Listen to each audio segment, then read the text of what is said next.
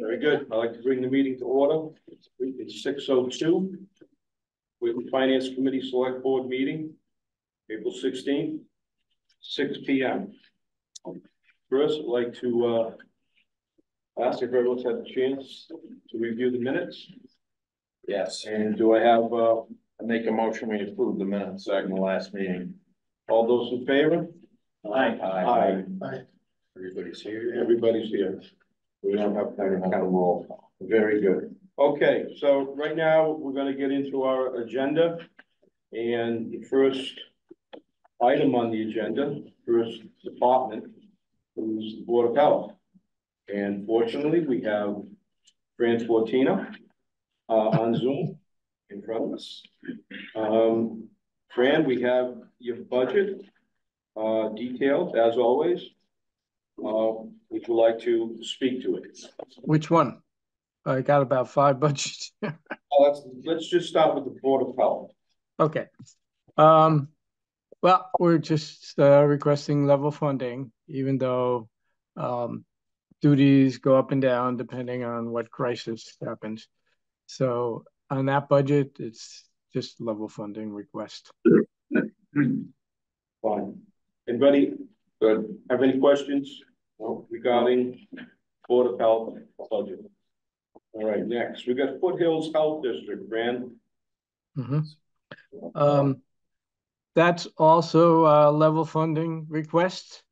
We have, uh, in the past gotten grants from the state, the, um, the Health Excellence Grant, and we continue to get that at, at least for the next year or two. So that budget's gonna stay pretty level. Okay. Do you foresee that grant being a reality? It is a reality. No, no. Oh, disappearing? State has promised ten years worth. We'll see. Okay. All righty, okay, let's move on to our, I have a question. okay, Fran, question. Fran, is there any turnover in the Foothills office? Seems like. Oh, there's- yeah. Yeah, Yeah, we have, um, we're down, uh, an inspector. Actually, we, we have a job. We've had two, uh, positions advertised. Did Mark very leave? hard to Get inspectors and they get pinched. Did, Um, did Mark leave or did Nikki leave? Pardon? Did Mark leave or did Nikki leave? Uh, Nikki left. Okay, She had some, um, uh, issues, personal issues and some work in Texas or some health, health issue where she went back to Texas for a little while.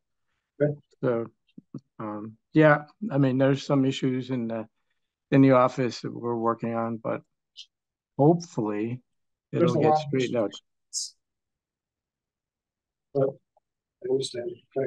Okay, any other questions regarding the Foothills Health District? Okay, let's move on to the transfer station. Fran, what's going on there? Um, you can see the, the budget has gone up. Um, oh, you can't see? I can, right here. Yeah, Okay. it mostly the personnel, the staff. We've been very lucky, as you all know, um, to have Regina around and um, we had Right. Quint and Roger, who are both vets, veterans also of the transfer station, but Quint has um, is on the permanently disabled list.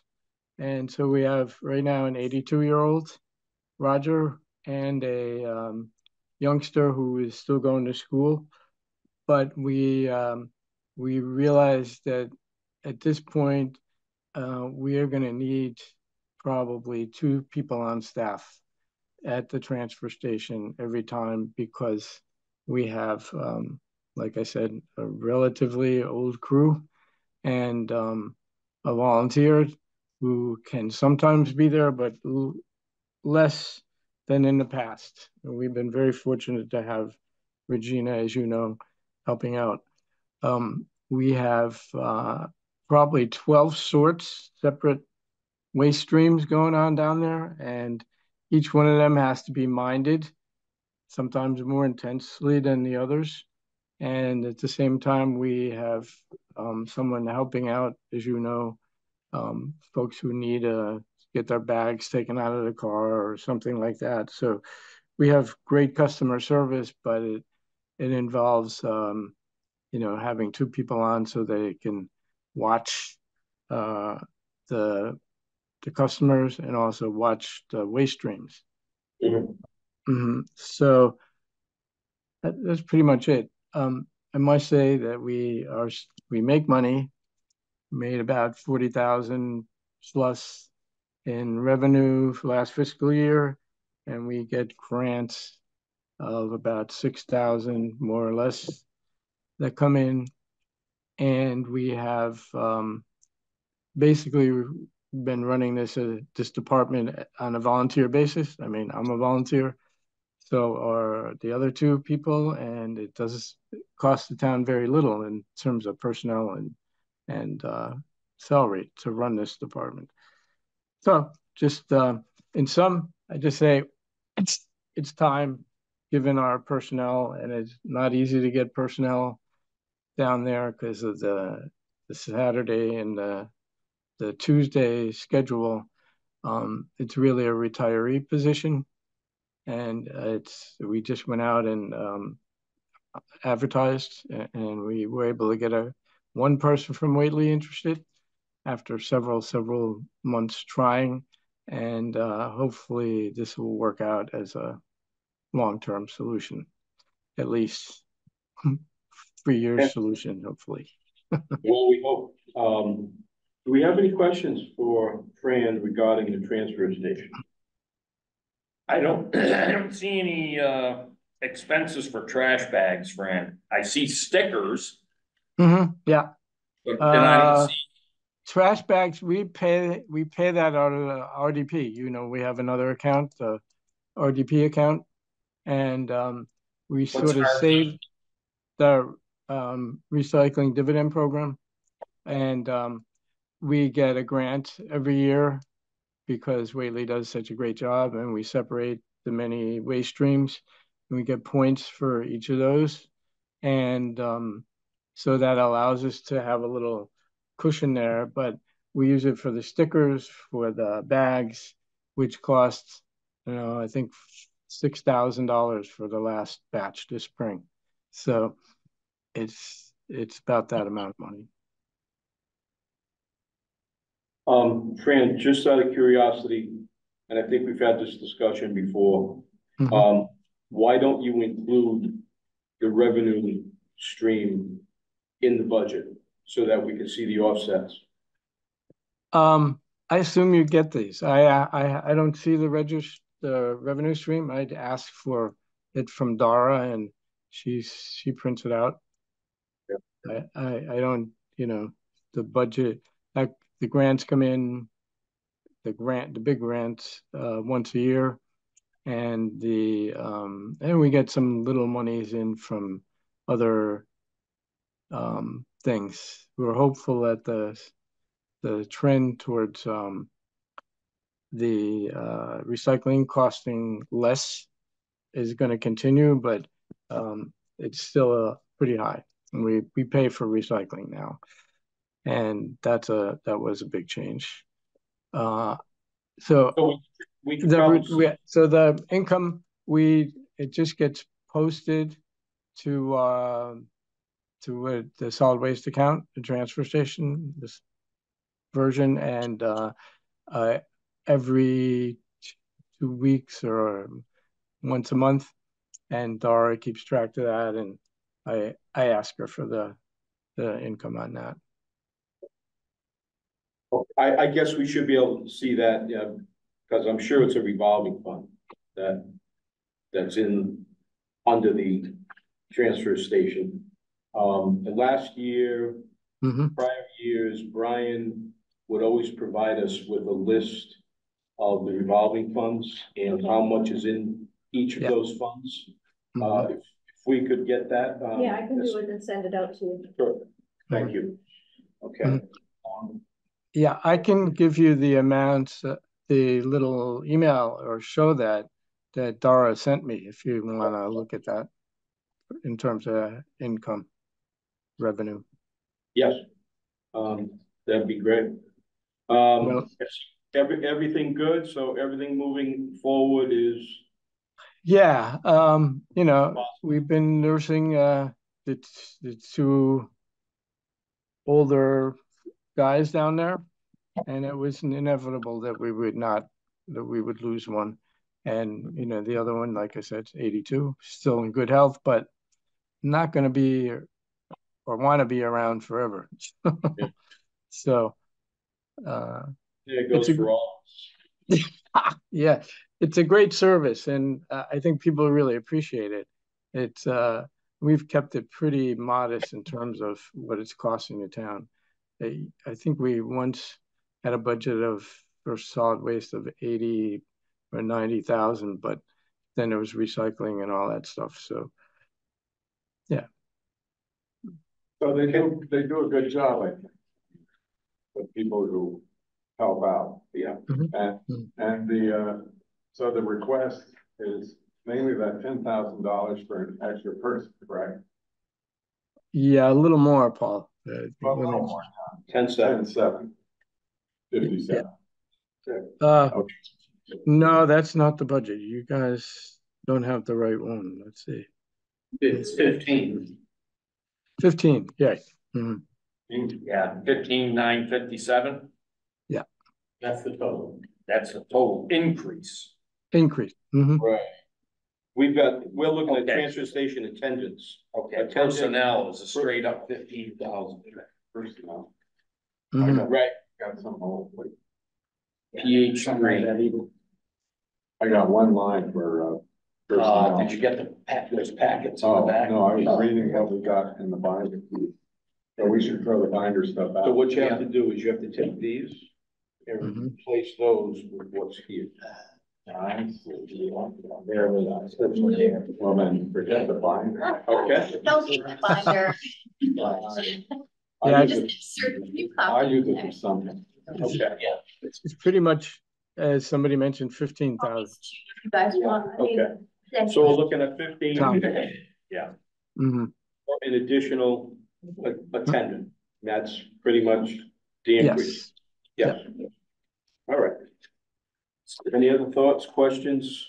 Um, no, that, that- Fran, Fran, Oh, I got one then. There you go. job well done. Thank you very much. all right, thank you, Fran. Hey, Fran. thanks. Thanks a lot. Um, Yeah. Good luck with the rest. Okay. Have a Thank good you. night. Yep. See you at the meeting. Yes. Take care. Bye. Hey, all right. Board of Health, okay. At six twenty, we are five minutes ahead. I just, I'm gonna bring that to your attention. Um, Tight yes, very happy about that. Um, okay, so we're gonna move on to town clerk. Budget, and that is, uh, Look at that. she is in person. Imagine that. In person.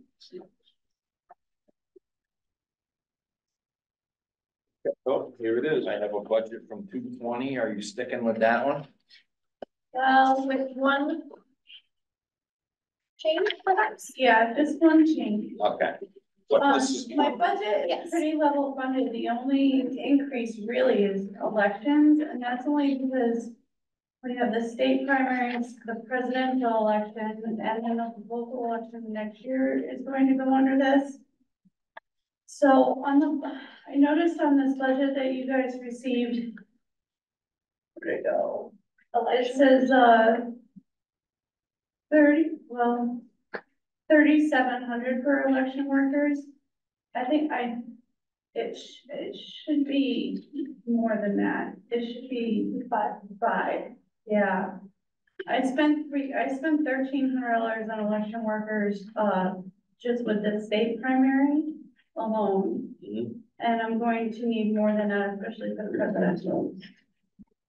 Yeah. That's the, so the elections is like the only big increase in my budget. The, on the election ballots, there's an increase because we have vote by mail, Because we have what? vote by mail. Vote- vote by mail. The state requires Okay, for the, it costs eighty-eight cents to mail out a ballot. Yep. For the state primaries, I mailed out hundred and thirty-five, but for the presidential, I will mail out close to, well, three hundred roundabouts. So that's an increase. That's an increase. The state is reimbursing towns for some early voting expenses. But that is a reimbursement that I don't get back right away. I don't get that back for a few months.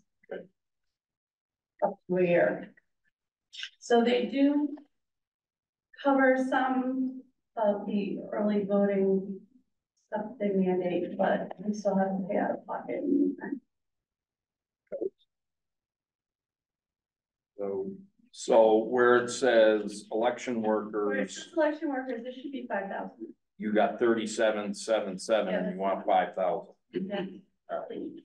Please, thank you. so you're gonna add five hundred to that? Add more than Only not thirteen. that. Thirteen. Thirteen? Yeah, Okay, we'll get a new, um, twenty-three, so we can vote on it, not tonight, but Yeah. down, downstream. that would be twelve twenty-three, Okay, So that's gonna change the bottom line. Any other changes besides that? one? Yeah, mm-hmm. like I said, I just took last, I've never done this before. yeah, I took last year's, I increased a little for inflation, but not a lot, but this, the biggest, the biggest one is just for elections. Yeah. For state primaries, next year I'm not gonna ask for that big, because we won't have all these elections. okay, so that's that. Um, Yeah, it's, it'll be comparable to the drop that you see from twenty-one to twenty-two. when You go from a presidential to Yes. non- non-presidential year. Yeah, you know. We're not gonna take it out of your salary if it. if you go over, So you know that. what's, so, uh, what's dog software? Uh, that is a software program that we use to track the dog licenses and the tags. We use a third party for that software, for the tagging system, And that's taken a jump? yes.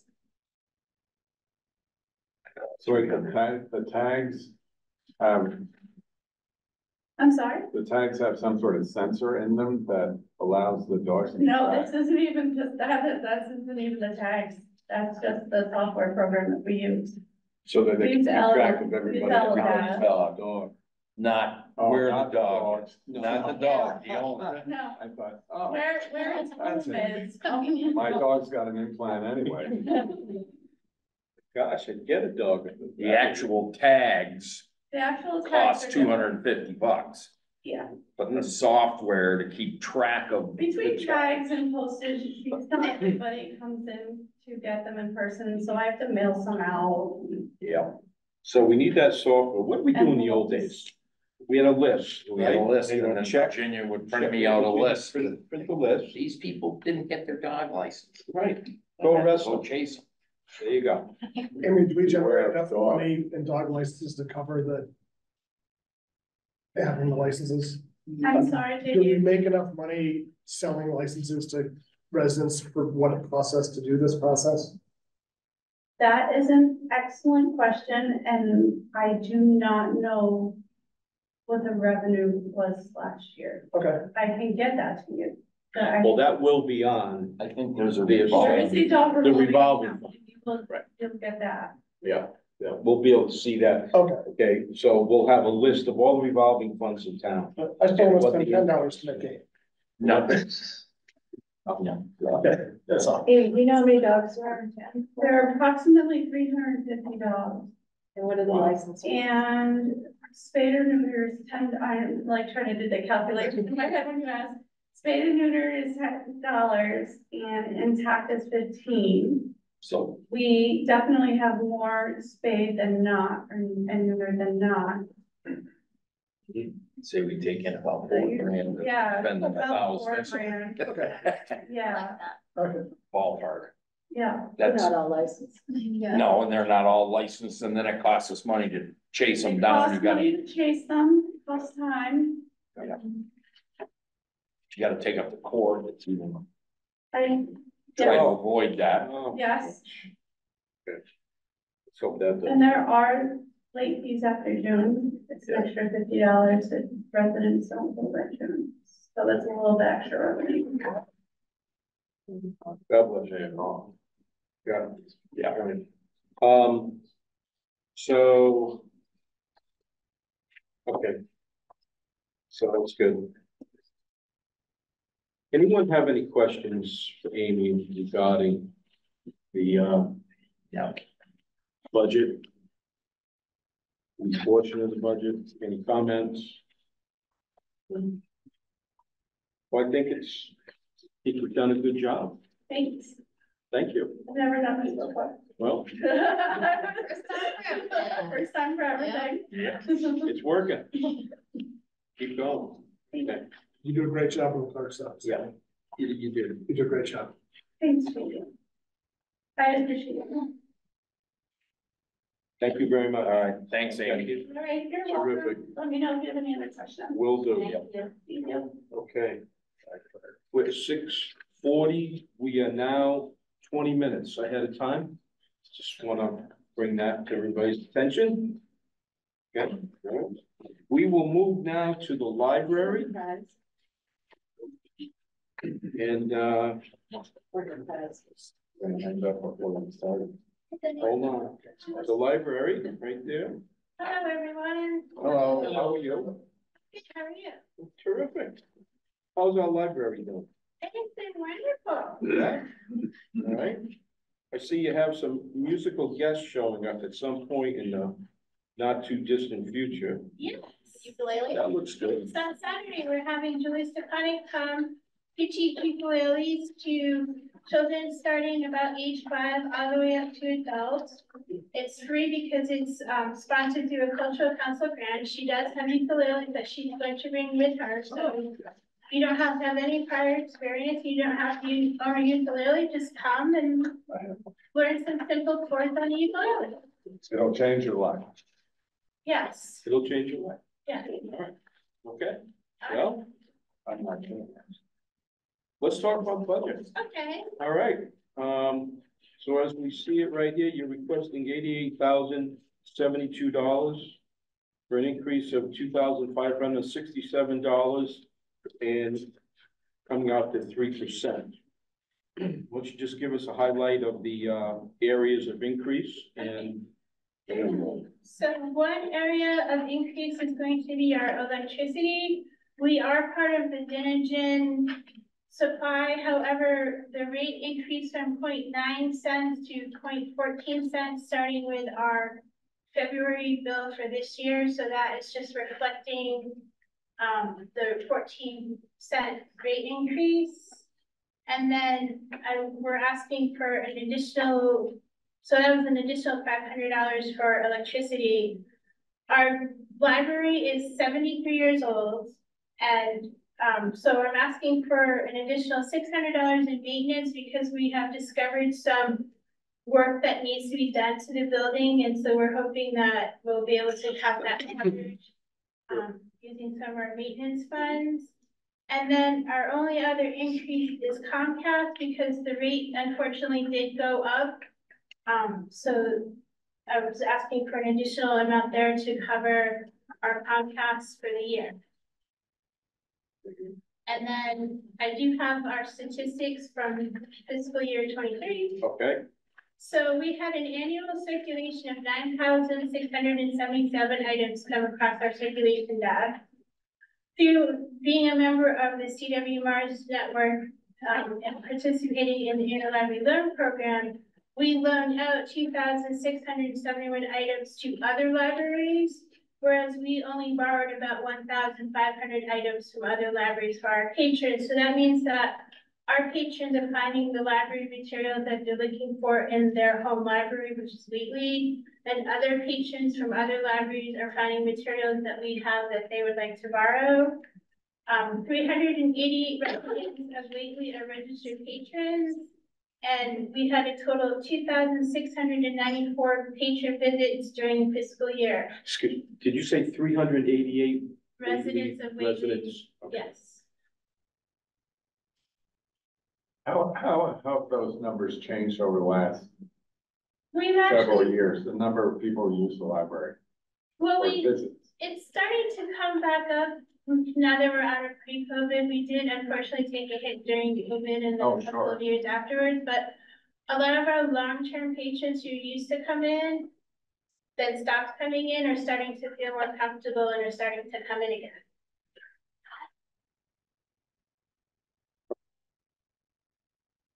Any other questions?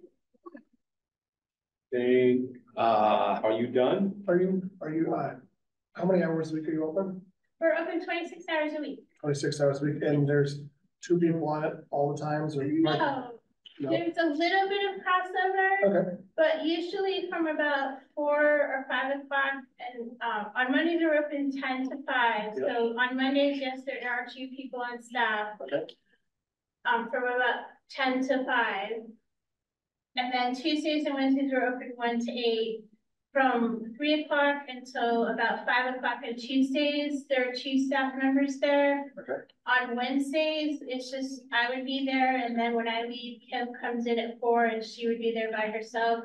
And then on Saturdays, unless we have an event at the library, then there's just one person on staff. So there is a little bit of crossover, but there are times when staff are there by themselves. are these events, things that you and your assistant are putting on, or are these outside groups coming? They're mostly events that are planned through the library that we are putting on. There is a concert coming up in June Okay, that they're just, if the group is using the library space, but it's Okay. not anything the library is actually putting on. okay. I just see lots of like programs, other libraries that I don't see in the Wake Library. We're you guys didn't have COVID glasses or something for those. we're had a big thing about that. There's lots of programs to get kids in, like school vacation weeks and Right, stuff, but we we're don't do that late. we're slowly building that up. We do have on Monday mornings, we have Janet Ryan to, um, coordinating with the Union thirty-eight Family Network. She comes in on Monday morning Okay. and does Monday morning music and movement for preschoolers. Yep, We're having Julie come in. I've got summer reading pretty well planned out. There's Okay. an event I'm just waiting to get a date on. Um, so we are slowly building our programming back up. do you guys do the website or someone else do it? We do it. You do it, okay. Just, um, I think in past years, um, you attached to the budget, what, the numbers that you just read off. I And can make a copy of Um, it, we can pass it out to so everyone. it, it's just that, you know, we don't vote on this this evening. Okay, We will wait for another meeting and we'll go through each of the budgets and make a decision as to whether it's fully funded or partially funded, uh, based on the needs of town. okay. Okay, so, um, I don't think there's any issue. It's just that when we start to talk about it, we go, hey, look. We got almost four hundred residents taking part in the library. Hey, we've got nine thousand books going to and from. Mm-hmm. You know, so all of those things make, make it a little easier when we start to reflect back to the budget So itself. Jessica's, okay, she's Perfect. gonna make a copy and pass that out. Okay. Uh, because your salary line item is level funded, I'm assuming you're, there's no COLA in it. Because they I- just voted, Right, so usually I don't do that, and Yeah. then when and if the goal is decided, the town administrator has usually. Just figures it out. Figure that out, and then yep, after July first, I get an email saying, these are the new pay rates for staff. Yep.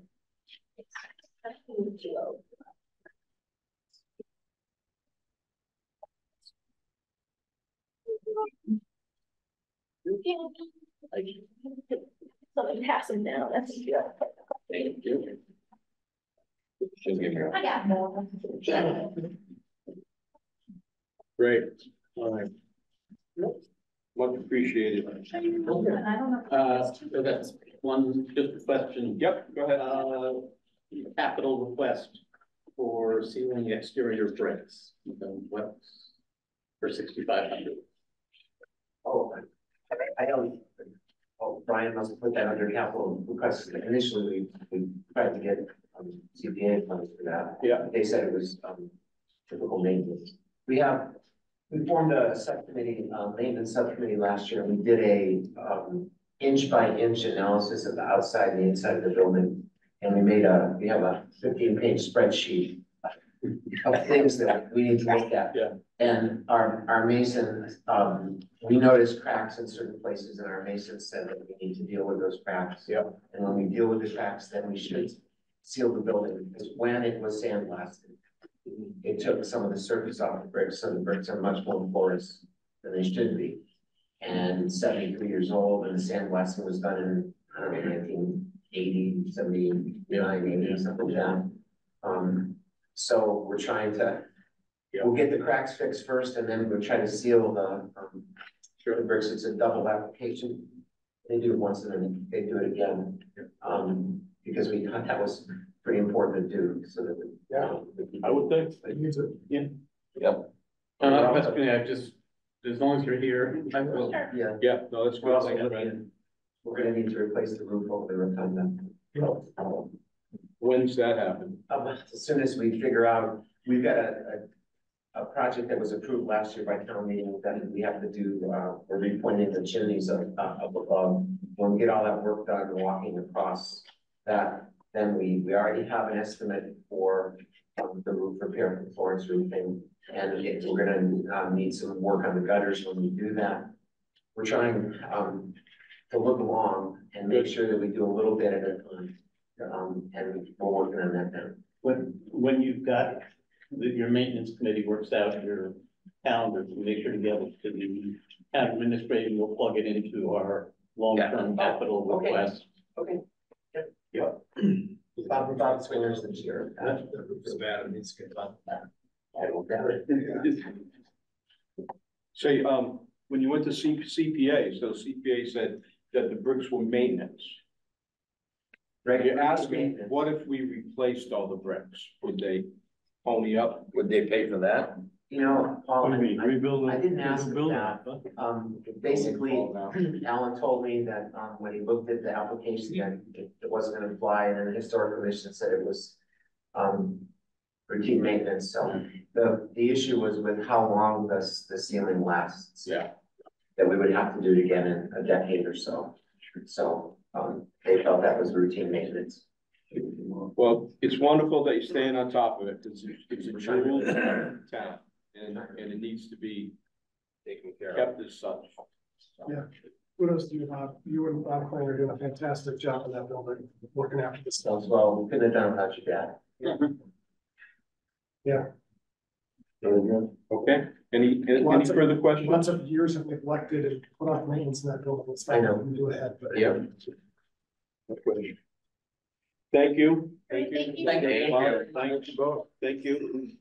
Okay, we are gonna move right now to, uh, the next, which is, uh, SCEMS budget, which and I wanna just, uh, note that we are now twenty-five minutes ahead of schedule. Uh, For all those, for all those counting. Keep on trucking. Keep moving. I know, he doesn't know that. Okay, here it is, right here. Well, Yeah. uh, on the detail here. Oh, wait. Wait a minute, now that's, actually, keep going, and you'll see, uh, you'll see all the detail that you want. Oh, yes, I remember this, Brad. Okay, so we have a new individual who is heading up the SCEMS. Uh, let's introduce ourselves, okay, um, Paul Antea, Finance Committee, Whately. Uh, Town of Mahar Finance Committee. JD Ross, Finance Committee. Fred Barron, select board, we know. We, we've met. Josh, Josh, I think. He knows me. Rebecca's, Brenda Doherty, Finance Committee. Dennis Kennedy, finance. Jim Kirkendall, finance. Paul Newland, finance. and you are Joshua Sparks, chief of South County. Nice All right. Joshua? Uh, I hope to continue this of, uh, finishing early, but. Okay. So, uh, Okay, this year, uh, we are requesting a increase, um. So we're looking at a roughly twenty percent uh increase. Uh, This primarily reflects. Uh, last year, there not being any retained earnings placed into the budget this year. Uh, that Before we go any farther, let's make sure we're all on the same page. We've had a revision. Okay. There's two pages there. So I'm looking at total, um, No. Oh, don't I'm stop. looking at a total of four forty-four, three six eight for your, for the department. Um, with, um, an increase of ninety-seven thousand, four hundred and seventy dollars for a twenty-eight point one zero percent increase. correct. Okay, so we're on the same page. With the weekly assessment at one forty-three nine zero. Correct. Yeah. Very good. Okay, all right, go. So basically, we didn't have any retained earnings placed into the budget this year because of equipment purchases last year. Uh, uh, my predecessor felt at the time that that was, uh, the right avenue, and, uh, I'm grateful to have the equipment, no doubt about that. Um, but it does impact this year's budget. On top of that, this reflects, uh, salary increases, uh, a step raise, uh, in addition to a two percent COLA increase for all of our employees, we're not adding uh, additional person. Um, And it also reflects the increase in call volume that we're currently seeing. So is that the increase in call volume that we're currently seeing. Uh, the downside of the increase in call volume is that, uh, the ambulance is being utilized much more. Sure. Uh, the upside to that is the ambulance is being utilized. So, uh. You want all of those, uh, things add up, uh, but it certainly does increase, um, ambulance receipts. So when you say increase in call volume, can you put any, can you wrap any numbers around that? Sure, so, uh, we did roughly fourteen hundred and sixty calls, uh, for the. Uh, previous fiscal year, uh, we're, we're expected to surpass that, um. Very quickly. Uh, so what I did was for this budget, I have to, um. Acknowledge that, uh, you know, I just started in the beginning of February, so, uh, this budget was largely prepared for me. Um, I Okay. have gone in and I'm very happy to have reduced what was handed to me, uh, by close to thirty percent. Um, but, you know, ultimately, I have that luxury of saying, screw this, I go my budget. Uh, I won't be able to say it again next year, uh, sad to say. So, uh, I do feel comfortable that we can, uh, very conservatively put eight hundred thousand dollars in ambulance service fees. Um, towards, uh, the total expenses. We're already, uh, on track to overtake that, just moving into the fourth quarter. So you're moving towards that on an annual basis, eight hundred thousand? I think that's a conservative. Okay. Uh, Ambulance receipts going back into, the right? Um, so, uh, that's the good news. Yeah. Right. So, Has insurance increased for your, um, for your invoices for what? Not really, the insurance is, uh, stayed the same. Yeah. Which is great, uh, you know, most of the insurance that, uh, just involve vehicles and personnel. Did, did you add a vehicle? I see a huge jump in fuel from twelve to eighteen thousand.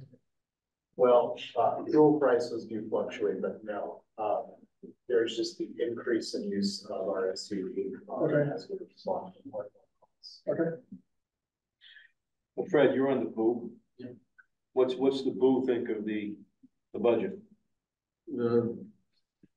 Who mostly wanted to find out what the finance committee thought of the budget. Oh, we're gonna pass the buck around here? I, I, I did want to ask, Captain, uh, what do you anticipate the impact on revenues to be of the increased call volume? Um, well, it should hopefully make my eight hundred thousand dollar annual service fees estimate, uh, well, well. Uh, so, uh, increase our volume, of course. Um, that means we make more money. Right. Right, so. Are, are, are you seeing more volume because people are sicker in our towns or something? Uh, it's a mix of both, Okay. for sure.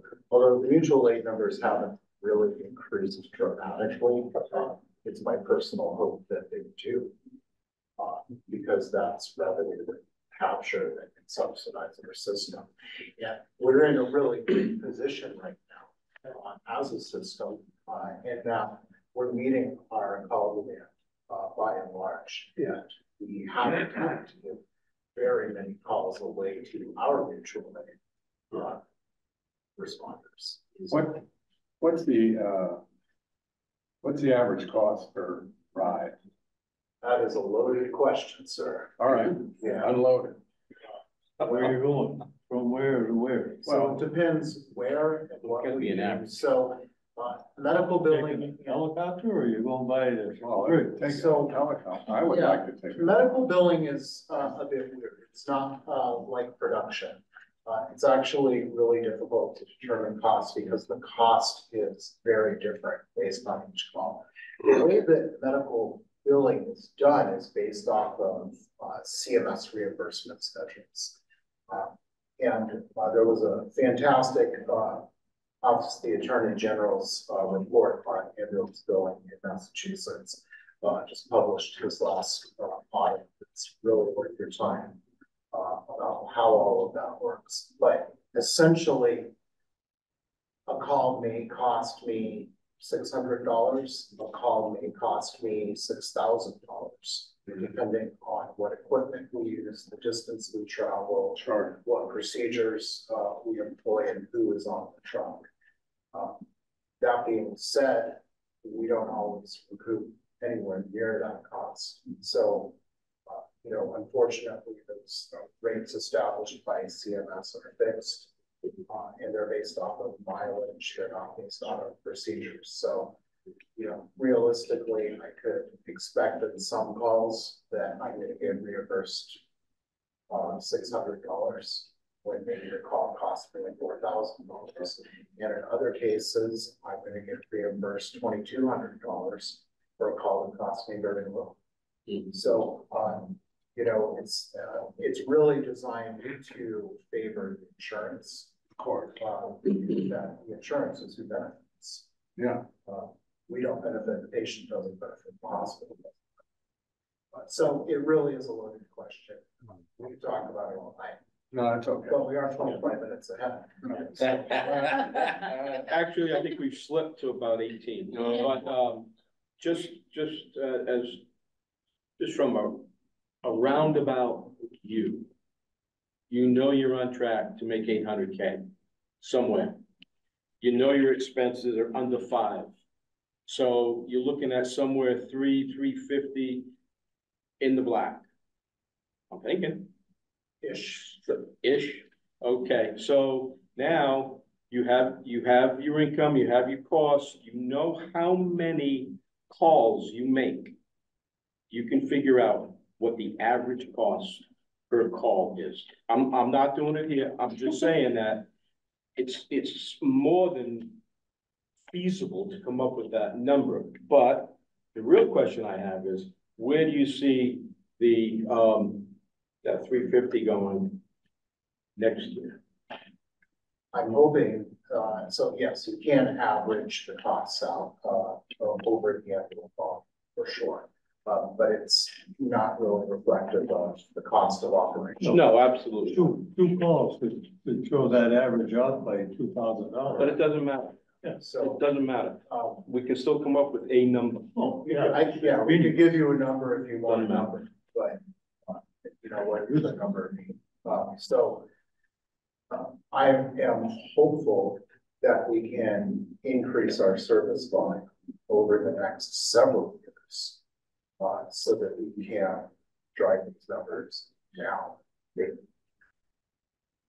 Thank you. I- I've got one Question. question. Uh, uh, did you authorize last year to send a lot of, well, to write off some old bills that were never collected and to send some of them to collection? Has there been any impact on revenue? Yeah, so we have the option through our billing agency, Comstar, to send unpaid ambulance bills to collections. Uh, I'm not certain how long South County is employed to practice. Uh, My experience with. And we, I think we just did it last year. but it's not- Uh, my experience in other communities is that, uh, the reimbursement is actually quite little on those. In fact, at the Boo, uh, meeting next Thursday, I'm gonna come out with more write-offs for that. Okay, so, uh, for things to, uh, you know, most of the time we write off a bill if there's a limit on statute of limitations, or the person is deceased, or they're in bankruptcy, or things like that. There's just no feasible way to collect on this bill, right? I'm also, there's no way on earth I'm gonna chase down somebody on Medicare, uh, for an ambulance bill. We're gonna use that cost, that, that's, that's just a, a line item over this, right? So. That's where the, you know, while you're here, I, I, I think there are probably a number of people watching this, and they probably don't go to the station to ask you these questions, but, but how are we, uh, um, you know, how's the service, how's the, how are we protected, um, as a town, um, with the ambulance service? Do we have enough ambulance, uh, that whole end of it? Better than you ever. Okay. Uh, but certainly not overhead. Uh, I feel it's appropriate. Uh, I'm hoping that it becomes not enough over the next several years. Um, but that will be hopefully uh, paid for by its own virtue. Uh, I'm so, uh, walking into this job, I'm real proud of the organization. uh, Thrilled to lead it. But it's a wonderful people, uh, they're very dedicated. Our staffing is twenty-four seven. We make it very promptly. uh. It's the Service that you're paying for is the service that you're getting. On behalf of the Board of Oversight, I would second that. I think we are very proud of the, what we put together over the last ten years in building this organization. The response. is Good to know. Good to know. Appreciate it. Thank you for all your hard work and uh, day-to-day activity too. Thanks. Any other questions? I think we're good. Thank you very much. Thank you. Thanks a lot. Okay. We are, we are at, um, 27, which makes us still 25 minutes ahead, but just of the police coming? I mean. Oh, they go to twenty-seven fifteen. They're gonna run in at seven twelve. We're gonna be out of here. Oh, gosh. They're all going to spin it. We're leaving the door. well, let's take a hard look at it then, just so that, uh.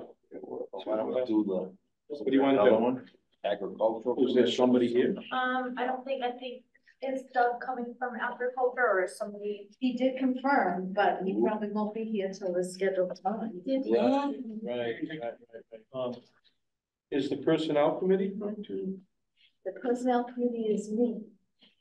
And Brenda's here to, Okay, so well, we can let's, do that if you like. let's jump ahead two spaces. It's around. Let's talk Huh? I assume that's the two of you, one of the two of you, not. Who sent the memo that got sent out? My- That was my memo.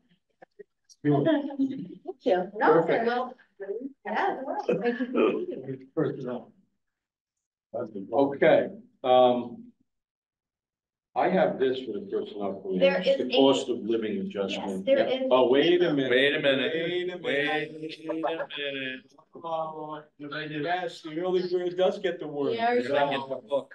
Nobody else here? No. Right. We're fine. You are That's the it. way we planned already.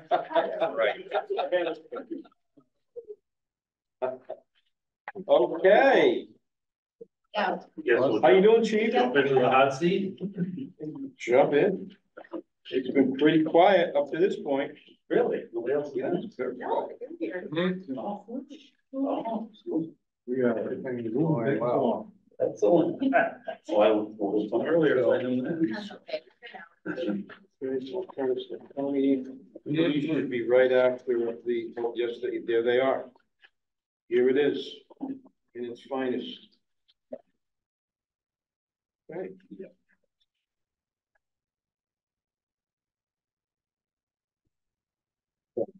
Are you ready to discuss?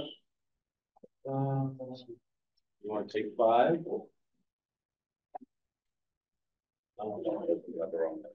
Thanks for making sure I got the right, the right sheet in front of me, that's all. Yeah, not the one that, just so, just so we're on the same page. Yeah. And that we, uh, um, you are requesting two hundred sixty-six thousand five hundred fifty-eight dollars for a, um, an increase of three thousand five hundred and seventy-nine dollars, which is a percent change of one point three six. Does that sound right? I have, a slightly different number. So what do you have? Mine's, mine is sixty-four, eight sixty-eight, that's the total increase. What's the data? Okay. We're working with two, two. Yeah. We got twenty twenty. I got two twenty. So I just printed this, so it's dated for today. Yeah, that's what I got too, right here. This Oh, one, yeah, yeah. Brian, two sixty-six, you have two sixty-eight. Two sixty-four. Good thing we're ahead. Mm-hmm. That's. That's, Did you change it in the rate?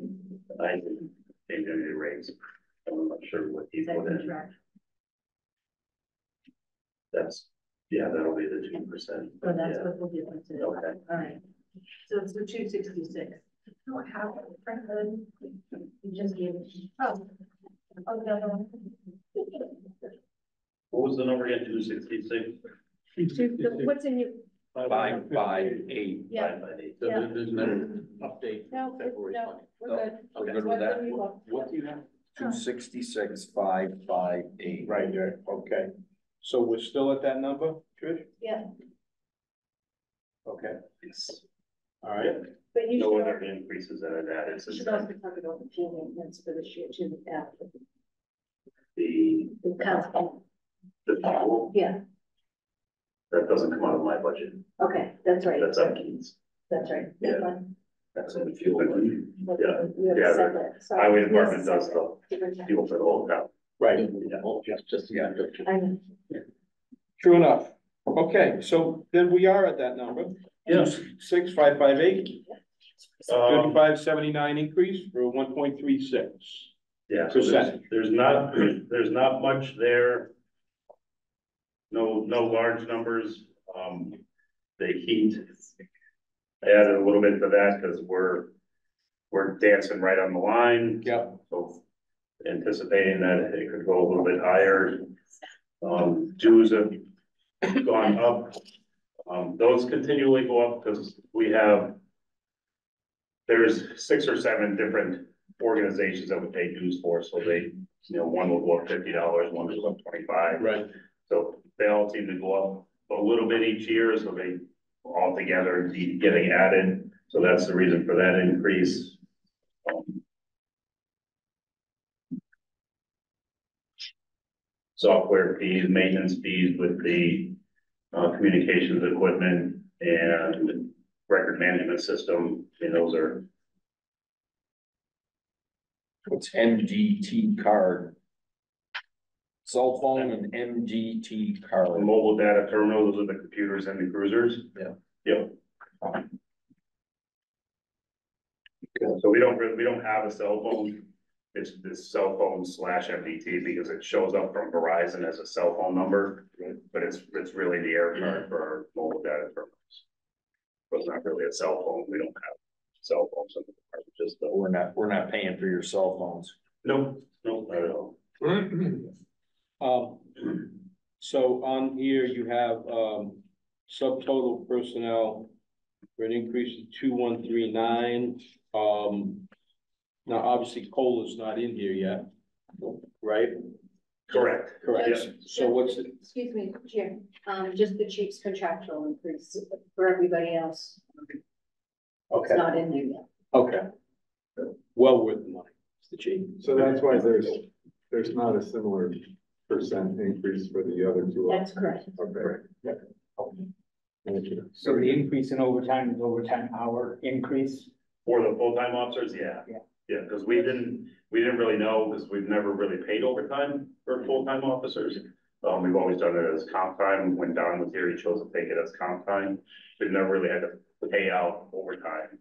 Um, so we had the minimal amount of money for overtime per, per officer. Um, so it looked like that was gonna need to go up a little bit more, uh, just for general, general purposes. Um, it's, it's not, it wasn't really a comparison to compare what, what Don had for overtime to what, what they're gonna have for overtime, because he had different responsibilities, and some of his overtime was for other reasons, other, like he would, he would go to court, or he would, you know, do, um, court hearings for me, or he'd, he'd do different things that, that our current officers may not be, may not be doing, so it's not as, it's not as much in overtime as what, what he was getting for comp time. Um, but it was just a, a kind of a, a general number that I divided between the two of them, so just looking to bump that up a little bit. So right now, just give, give us a sense of the, uh, manning in the department. Number wise, you have full-time, part-time, give us, Yeah. people at home can hear this. Okay, yeah, so we have, so I'm obviously full-time. In addition to myself, we have two other full-time positions, uh, police officer positions. One of those works during the day, during the week.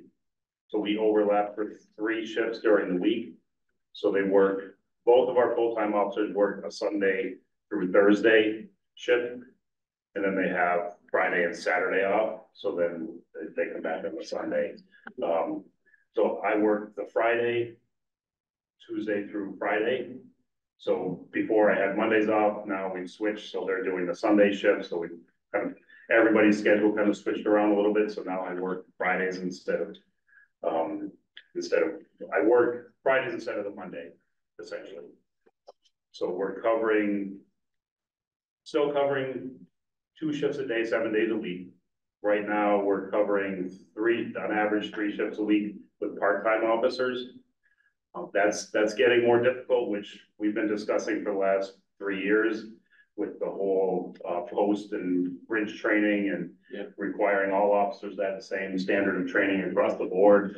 The Problem with that, what most departments are running into and what we're starting to see a little bit of is officers that are, that went through the bridge training that are now certified as officers, which is only one level of certification. It is no longer part-time and full-time. Yep. It's one level of certification. So they had to, they had to undergo an additional two hundred hours of training in order to get to that level. So what, what happens now is all of those part-time officers that now became essentially certified full-time officers are taking full-time officer positions in towns elsewhere. So there's no longer a part-time academy. It's the only way to really replenish part-time officers is to send somebody to the full-time academy. It's the only way we can bring somebody in.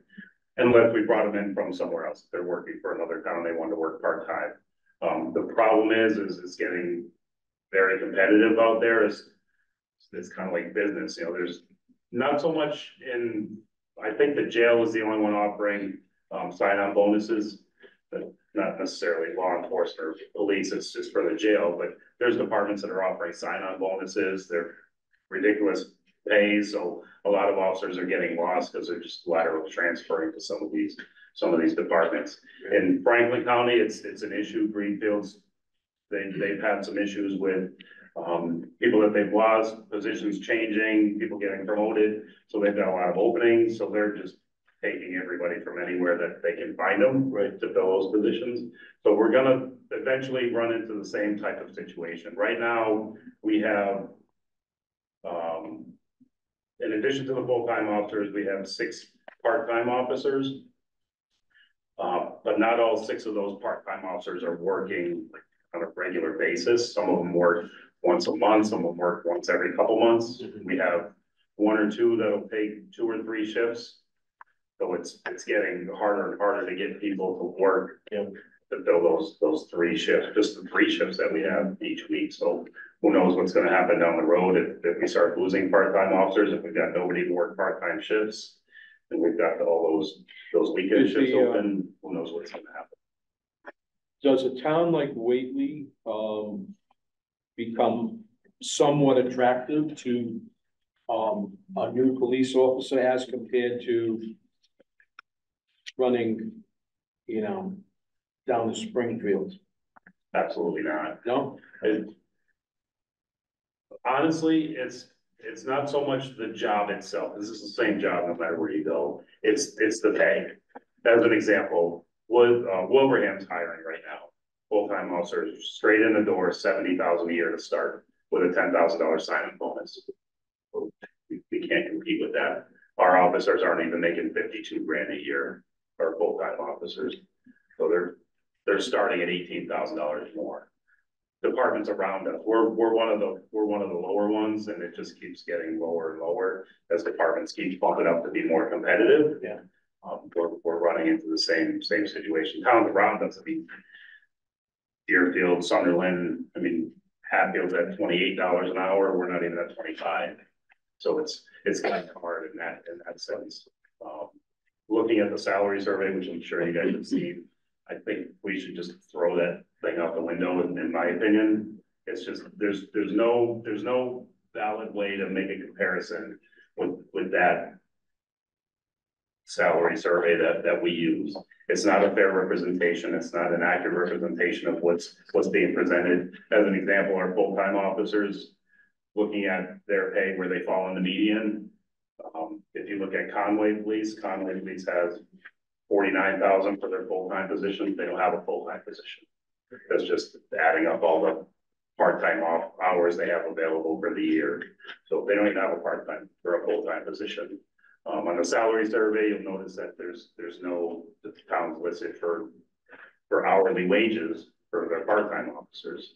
So how, how are we really comparing anything when we don't have numbers for, for part-time officers? Sure. So it's really, it's really, and I'm not blaming any individual, I just think the process of it, we have talked about it for years in the past, everybody is aware of the issues that, that we've had with these salary The surveys. salary, sure. So, Um, but- can you speak to the workload? Um, how, you know, how, how many, you know, moving violations do we have this year versus last year? How many, um, you know, Off the top of my head, I, I just, I, I can tell you that it's up. I can't, I can't tell you the numbers off the top of my head for Yeah, yeah. sure. Um, I know just having somebody else during the day with me doing the majority of the stuff that I'm doing administratively and going to some calls. Um, we have an officer that's during the day for those three days a week, that's just doing traffic enforcement. When he's, when he's not on a call, he's out doing traffic enforcement. yeah, So we're getting much more traffic enforcement during the day than we have in the past. Um, on the weekends, that's essentially what they're, what they're doing. So the numbers are definitely up as far as traffic enforcement. do we have a misdemeanor count versus felony count for given time frame? Not off, not off the top of my head. No. I, I couldn't give any, any accurate information. We do have a lot of other things going on. Yeah. We have the, we talked about it a little bit, I think last year we were kind of prepping, getting ready for it, but we have a, a clinician that's hired by CSO, which is Clinical Support Options in Greenfield. It's on a grant, so we're sharing that clinician with Sunderland and Hatfield. So Sunderland, Hatfield, and Whately, we have a regional clinician. They go out one day a week with us currently. We're looking at July first, starting that person in a full-time role because the numbers are so high that we're looking at a full-time role. So that clinician, when, if, as an example, if I'm with them on Wednesday, we would go to any calls in Whately, Sunderland, or Hatfield. So they respond, and that doesn't get paid out of the town budget, that gets paid from grant funding from the CSO grant. So, but that's additional calls that we're going to, additional follow-up things, additional things that are getting um actively created as opposed to waiting for something to happen. So those are more proactive things than, than just waiting for somebody to go into a mental health crisis. We're a small enough town where we know people that are, are, are having issues, having problems. So we can try to nip that in the bud beforehand, so we go and do follows with them, outreach to them, uh, beforehand. So that's, that's adding more volume to what we're, what we're doing. uh, from that perspective, having much more involvement with the community. Um, but as far as the actual numbers, I mean, I could get you actual numbers, we we No, have the data, but I don't have the, the breakdown of the, the numbers. Things are definitely busy. Just get a sense of how protected we, we are. Yeah, So- things, things are definitely busier. We have much, I don't wanna say much better protection, but we've got, there's, there's less time where, like in the past, we talked about me going to a meeting and not being in town. We always have somebody Yeah. in town now, so that's, that's kind of the, the key thing, being available for those calls. Um, Okay, So now you have Mondays off, Yes, so you're working Tuesday, Wednesday, Thursday, Friday. yes, four ten hour days, yep. All right.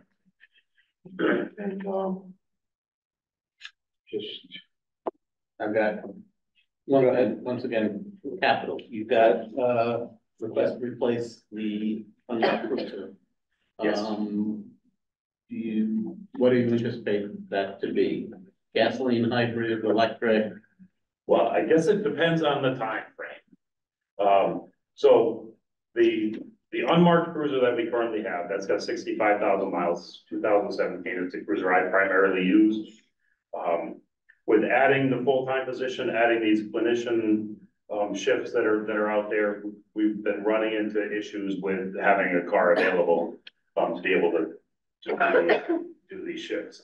Um, so I'm looking, the, the, the cruiser, the two thousand seventeen was up for replacement this year. I'm looking to use the money that we're gonna use to replace that, to actually purchase a car and keep the two thousand seventeen car. We can still get another couple of years, two, three years out of that.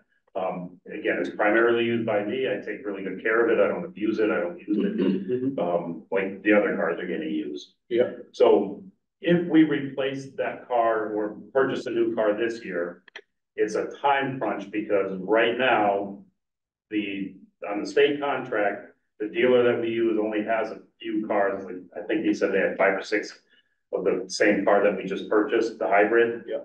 Um, if we wait and those cars are gone, they've already pulled back the twenty twenty-four hybrid orders. They're not making any twenty twenty-four hybrids. And we won't know until December whether they're gonna make twenty twenty-five. I'm being told by the manufacturer that they're gonna say that twenty twenty-five they're gonna roll out at this time, but then they're gonna pull that back as well. The factory that they have to make the hybrids is only making gas, gas cruisers right now. They're only making the, the utility vehicle and mm-hmm. gas. They're not mm-hmm. making hybrid cruisers. So if we want a hybrid cruiser, then we're gonna have to look at doing something soon, sooner rather than later. so you're saying the, the, Well, well, well, go ahead. no, the, the vehicle that you're talking about keeping in two thousand seventeen has sixty-five thousand miles on it Currently, yes. now? Okay, And that's gas. and you're gonna hang on to that Yes. and we, and bring in something else, whether it's, It's the same car that we just got, the hybrid utility. Yeah. The Same. car. okay. So you're replacing an older marked unit? Nope, this, this would, Adding this, adding a third car, yeah. So if you drive by the station now, you're gonna look out there and you're gonna see a bunch of cruisers. Yeah. So, so right now, that, uh, so I'll give, I'll give it to you in numbers, so my car, the one that I call my car, two thousand seventeen, that's cruiser one. Cruiser two is the two thousand eighteen, that's the oldest, the oldest utility, Yeah. and the newest one that we have is cruiser three. Yeah. So those are the three cars. We also have the sedan that's out there, that's strictly a detail car. Yep. We own, anytime that gets used, we get paid for it. Yeah. That doesn't move unless we're getting paid for that car. We get ten dollars an hour to use that car for details. So that car right now is the detail car, detail car only. We sank, and I didn't know if it was gonna come up tonight, but right now I'm currently forty-two hundred dollars over budget for the, for the cruiser, because we had to put in a water pump, which was thirty, I think it was thirty-eight hundred dollars to put a water pump into that, that two car, which is one, the older of the, the utility vehicles. Um, so what, what I would like to do is adding that new hybrid, so we would have cruiser one would still be my car, cruiser two would be the new hybrid, cruiser three is the hybrid that we currently have. And then the oldest utility that we have would become the detail car. And we would trade the sedan in or get rid of, sell the sedan, trade it in, get rid of it. So the only time that old, the old utility would get used is for a detail or if we're getting paid for it. or somebody needed to take it for training or anything like that, we keep the mileage down mm-hmm. on the other frontline cars. That's the whole objective is to keep the, keep the mileage and the, and the usage down on those cars, to, to stretch out the life as long as we can. So we would essentially be adding one car to the fleet, if you will. So we'd have three frontline cars and one detail car. We'd still keep that. E- even if, if we sat here right now and said, okay, you can, you, you know, you can order a cruiser. We, you can't do anything till July first, Correct. and you Correct. say there's only five left. By July first, they're gonna be gone. Possibly, but I, this is, this is the discussions that I've had with the salesperson. Is they have these five cars, they could go like that. They could go tomorrow. But if I say that everybody's on board to get one, they can set one aside for me. If the town votes and says, no, we're not gonna do this, they put it back on the line and sell it in there. So I've already had that discussion with them. I can't, I can't put a down payment on it because we don't have the money. I can't order it because we Doesn't don't work have. like that. It doesn't work like that. But, you know, just talking with the salesman, because there's not too many departments that have the same colored car that we have. If you wanted a black and white car, there's, Yeah, when you say there's only five on the lot, there's Five only that are- five gray ones. correct, Okay. correct. Yeah. So you could, you could, we could get a black and white one. Right. And then pay six thousand dollars to have it painted. Yeah, And then we could, I mean, it's gonna cost seventy thousand instead of Yeah. sixty-three thousand, but. So, so yeah, just to, to clarify, they, they have five that are. Yeah. Are the color of the one that we just, we just purchased. So, Yeah. And those, those could go anytime. Um, state police. The half of the cars that they've ordered for the state police are all gas. Because they're not making. they're not making hybrids. Are they not making them because they're not reliable or because they just run out of gas? Either one. I, I don't, I don't think the reliability is a- as big of an issue. I think it's the, the demand and with the factory that they have to build the hybrids, they're only making gas. Because the demand is so high for the, for the gas ones, they just, they don't have enough time, effort, parts to make the hybrid because they're just so far behind on. Is it a significant Yeah. savings to jump on the hybrid now versus getting a gas later? Savings as far as purchasing it, Yeah, Dollars. Um, gas is gonna be cheaper to purchase. Much cheaper for, I think, I think when we did the hybrid, uh, I wanna say it was eight, eight or nine thousand cheaper, somewhere around there. Um, The gas would have been cheaper, yeah. gas would have been cheaper to purchase. Um, that wasn't an option from the select board's perspective, the discussions I had with the select board. They were leaning towards electric, electric options weren't available, so we kind of settled for the, the hybrid model. Gas wasn't really an option at, at that point. We may not have the choice if, if we, if we wait too long, gas may be the only option. So it'd be a little bit cheaper. Um, we've been running the hybrid for say a couple months now, a month and a half, two months now, and we've seen a significant um, change in the fuel usage. Um, we're at, our old, the old car, anywhere between eleven and twelve miles per gallon. The new car, we're looking at 21, 22 miles per gallon right now. Who knows, as, as the car gets older, maybe that'll drop down. I'm not sure how it, how it'll play out long term, but it is a significant That's a little bit silly, because you guys have a lot of Sitting, I, idling time. Yeah. Hours. So when- Four when we're- hours, not miles. So when the officers are sitting on the side of the road, Yeah. it's really weird, it's still an adjustment, but when you're sitting on the side of the road, it's not running. Yeah. It just sits there, if it needs to charge up a little bit, because you're running the radar and you're running the computer, then it'll kick on. Or when you put it in drive and take off, it'll, it'll kick on. But it for- automatic, you don't have to turn the key and start the thing back up again. Nope, you don't have to do anything. That's good. So if it needs, if it needs power, the engine will kick on to charge the batteries. If the batteries are charged up, it'll shut the engine. So it is, it is kind of neat. It's a little bit of an adjustment. It, it runs different. When you step on the gas, It like if you, if you drop it in and drive to take off after somebody, there's a delay. Because you gotta wait for the engine to kick on. It's all electronic now. so Hold on, I'll get on the gas. Yeah. If the car's going hundred miles an hour, You're you're not not catching- You're not catching by. up to it, yeah. Yeah, you're not catching up to it. Well, I mean, it's, it's seconds. It's not, it's just a little bit of an adjustment. Yeah, so it's not- I, I know how they work. But We've got Joyce on, she's got some comments, but we just need to clarify. I clarify. think she means maintenance. You said cost of ownership of the hybrids are better. Long term, yes, Lo- long-term, lower maintenance costs. yeah, lower maintenance costs, less fuel, Yeah. for more upfront, but Remains to be seen. same, yeah, exactly. I mean, I've, I've heard from other departments they've seen savings, but I've heard from other, other departments that they didn't really see much savings. So we're gonna have to see with our usage on our car. savings. All right, that's absolutely true. Yeah. Um, law enforcement is local.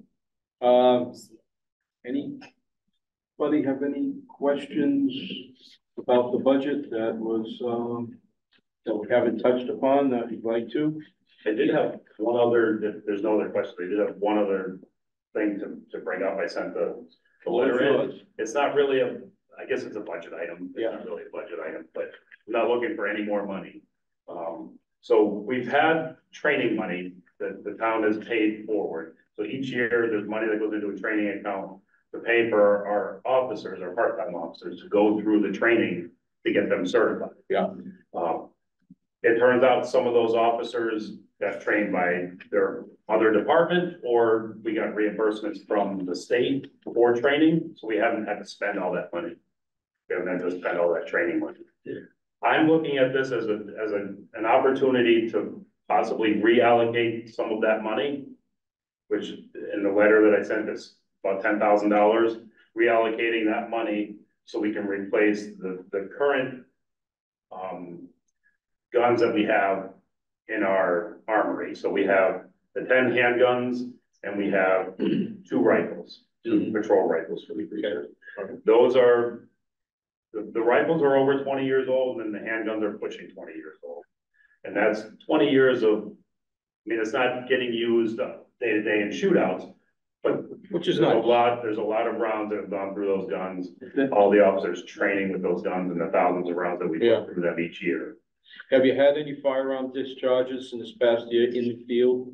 No, If, if I When was it? other, other than putting down an amp. Okay, the, the firearm should be a capital request rather than operation. Transfer. What? What, what, he wants to do is transfer. I, I, I know, but it, it should be the capital expenditure rather than out of operation. So- So you just want to transfer a capital expenditure? One capital, an operational expenditure to make it capital. Because the training is in the operating Well, is it, he- would basically have to, to simplify it. Mhm. He's gotta take the ten thousand, put it back into the gen, into free cash. Then we're gonna turn around and take it out of free cash and give it to him to buy guns. Doesn't. Right. Does it have to happen that way? Doesn't It's in its own have- separate doesn't have account. to It's go not to part capital if he's got the money. If he's requesting Capital money, item, then it's gotta go to capital. the capital item. But he's got the, his money in his budget, so if it's all right with the select board, it shouldn't, probably, I- no reason it Okay. shouldn't transfer. You're probably right there, Dan. It's capital item. He already which has it. Means it has to go to the capital planning committee under the process that every other department, unfortunately, the chief has to use and then come to the select board and the process established. Okay, I understand. Yeah, no, I'm, I'm not sure of the process because the money's already there. so basically he's gotta give it back and then we turn around and. give it If he back. does five thousand this time, you don't have to send it back. So it looks like it's between you and the for select board. And Trish. And Trish. It was just, it was another, another submittal that I had. I just Wanted to put it out on the table. I mean, we can, Yeah, we can work it out however procedurally it has to work out. okay. I was, I was told, That's fair enough. when Brian was here, I was told that it's just, it's a reallocation of funds that we already have. So that's, that's all I was going on. How much a, a replacement gonna cost? It's- well, for one gun, it's six hundred and fifty dollars per gun. Per handgun. Yeah, Mm, yeah, ten of them, that's sixty-five hundred. Yeah. five grand. And then we got the rifle. See, see, they're reading the rules, five grand for capital. Yeah, if that's, if that's the If case. it's less than yeah. that, he could transfer the money. That's only the first part though. Wait, The the second part is a useful life of five years or more. Five grand or more. for Yeah, five years or more useful life. If it has a useful life of five years or less, it's operating. If it's five or more, it's capital. You want to put it into a So if it's water pump. a, so if it's a capital expense, just as a question, if it, if it's a capital expense. how, how can we look at the funding that's already there? Is it just whatever money I have left from that training just goes back to the town and I'm looking, so I'm not reallocating money, it would be a separate request for, for the ten thousand dollars. Or you- if you need it in another line item, then you could ask and maybe. then The, the, the wrinkle here is, it's a capital item, because it has a useful life of more than five years, and it's in the. Yeah, we could, we could talk more about it, I just, I just don't wanna delay it until Right. next year and I then. hear you. Now we're, that money's gone now. And you haven't submitted a previous capital request for it, I submitted a request for reallocation of funds. but not to capital, yeah. I'm not sure the process that it Okay, went through. It, okay. it got sent out to everybody, however, It, it's an accounting technicality that it's, it's on the books. yeah, we could, we could provide them with it. When, when you write, or not you specifically, but when the department writes a speed, we're gonna use speeding tickets. You write a hundred dollar ticket. A certain percentage of that goes to the state. A certain percentage of it comes to the town. Mhm. Somewhere there's a, we have that number, Oh, yeah. It comes in on the cherry sheet, yes, fines and forfeitures. okay, But that doesn't, it doesn't break that number down. It doesn't say this is how much for tickets, it just shows up as fines, fines and forfeitures. So that's any court cost restitution, anything that comes back. anything that, well, it's, and is it for the whole town or is it for specifically the police department? No, it just, just for the town, it comes to the town. Okay, I, I don't know the, the accounting side of it, I just know it always showed up on the cherry sheet if it goes to the town's general fund. it But does. it, it doesn't come back to the, doesn't, I know it doesn't come back to the Yeah. department, but I'm just, I'm curious as to, now that we have two full-time officers, mm-hmm. You know, in the real world, we will be writing more tickets and generating more income, but we don't, you know, we're not, we're not surviving on writing Exactly. tickets. I understand that. yeah, we never looked at it as a revenue builder. That's right.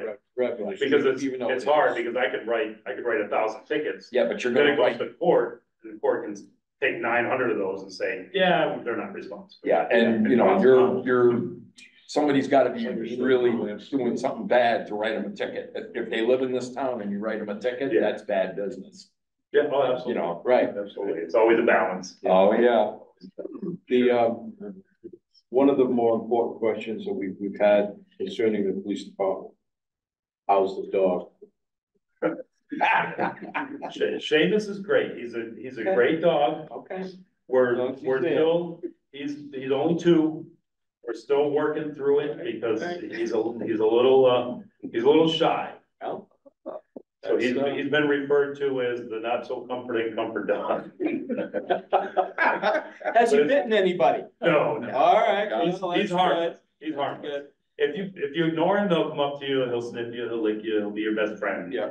But if you try to like at him or Yeah, you touch him when he's not looking, then Uh-oh. he gets a little, little snap. gets a little nervous. He doesn't, he doesn't get snappy, he just, he'll, he'll shy away from you. Well, But okay. he's, he's a great dog. And We've done a lot of training and I still work with him. He's still with me and he still goes to the coffee with a cop. We still bring him to the senior center. We still do things with him. It's, he's just slow.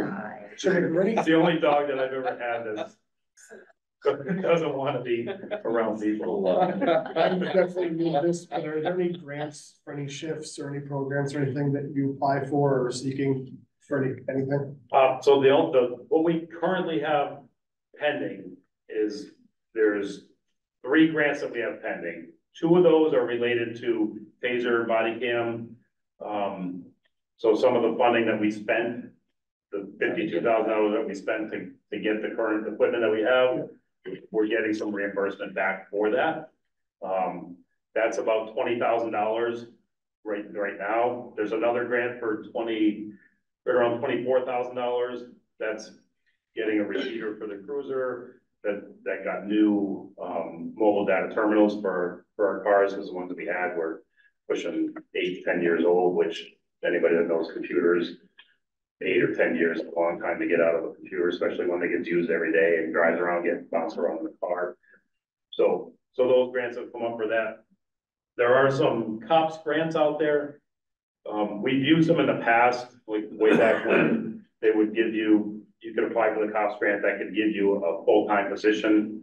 And then the, the first year of that grant, the state would pay seventy-five percent of their salary. The second year they pay fifty, and then the third year they pay twenty-five, which gave the town time to kind of catch up and pay the, the other percentage, as opposed to getting hit all at once.